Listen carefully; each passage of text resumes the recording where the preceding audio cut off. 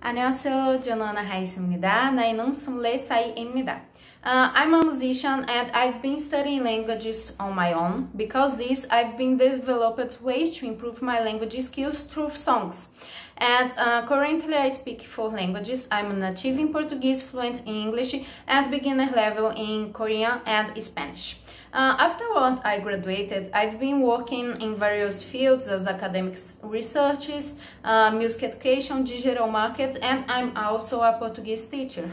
Uh, I would be honored and ecstatic to be approved in the study of uh, Korean language program and this would open up several avenues for my training to, as a teacher and my wish is to continue to develop academic researches in the field of neurolinguistics as I described in the statement of purpose and as well uh, as to become fluent in Korean and in the future to be able to teach Korean for others. So that's why I wish to join in the program and thank you in advance for your attention. So, 정말 감사합니다.